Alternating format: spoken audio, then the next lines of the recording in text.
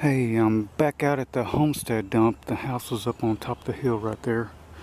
And I've got a bottle probed out, but when I was digging, I found some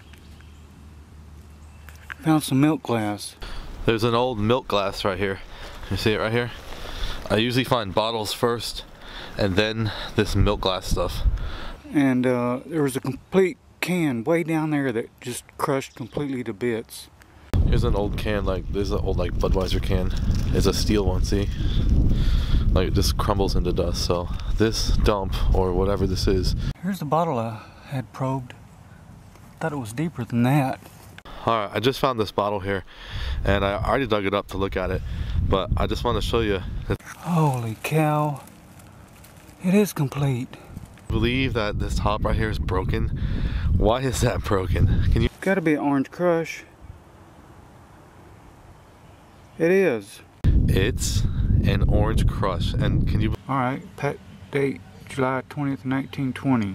It's got um, a date on it. It says 1920 Orange Crush. Six full ounces. Crush seven ounces, and it's I don't see a city on it. Iowa Bottle Company, Clinton, Iowa.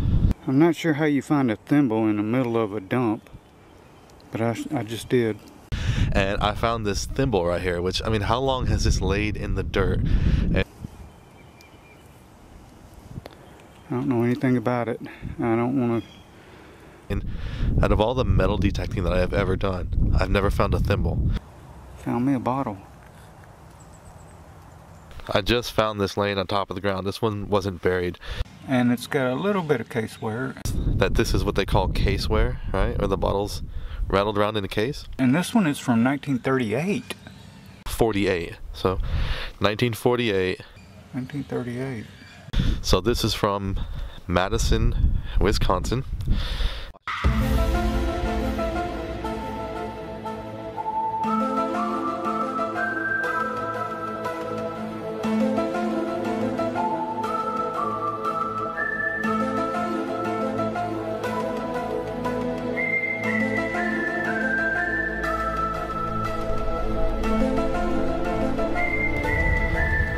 That's what's left of the center of the road right there.